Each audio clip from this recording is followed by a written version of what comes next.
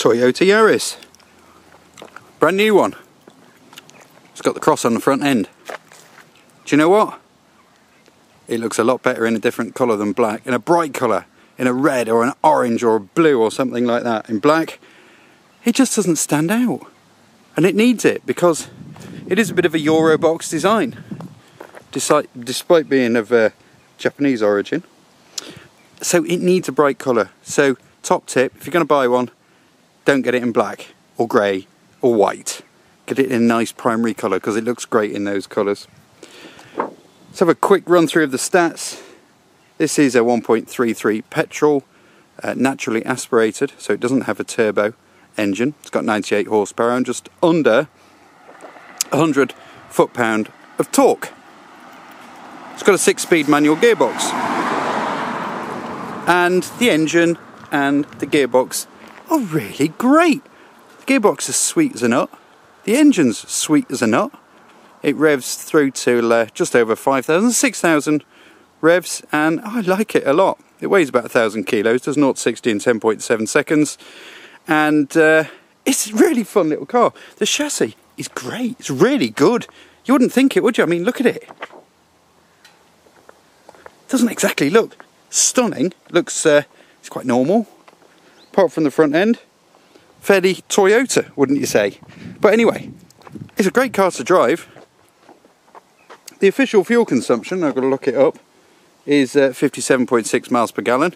You might approach that on a long journey if you're going to do 60 mile an hour, but uh, in the real world you get 40. 40, between 40 and 45 miles per gallon, which is not bad for a little 1.3. The steering's good. Yeah, it's good fun. Uh, uh, around B roads. Feels like it could be a rally car if it didn't have the back seats and all of the interior and all of that kind of thing. So let's have a quick look round. What I'm going to do is turn the engine on and we'll fire up the um, Toyota Touch and Go, so a £650 option. See how long it takes to find my phone and play some music. It does take a while, so we'll find out how long it's going to take. So this is the interior. Again with the black, you get a very dull interior. I mean it's quite funky design, but uh, choose a different colour and you get colour coordinated interior, grey on black. It doesn't look the best in the world.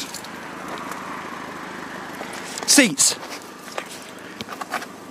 Comfy, supportive. They're made out of uh, the kind of material that you'd expect British Rail to uh, put their train seats in. I don't really like the material, but there you go.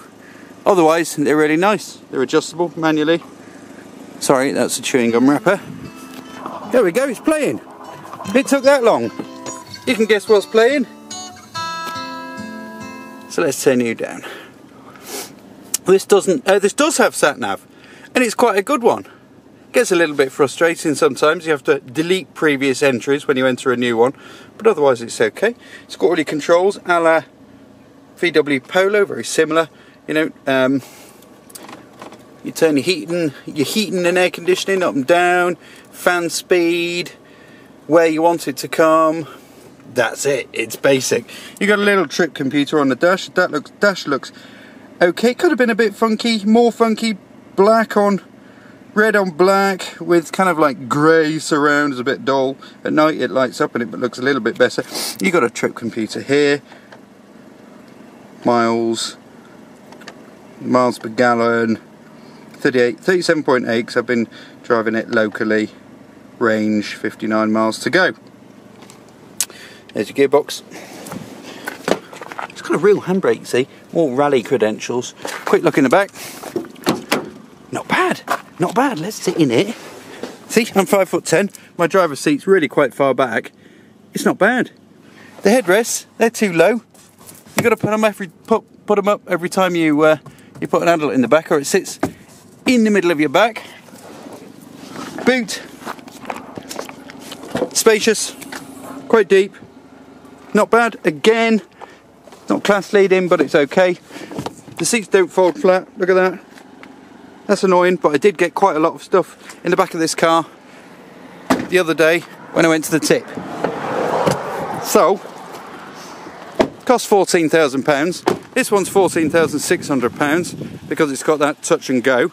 with your sat nav and your uh, infotainment. It doesn't have uh, digital radio, by the way.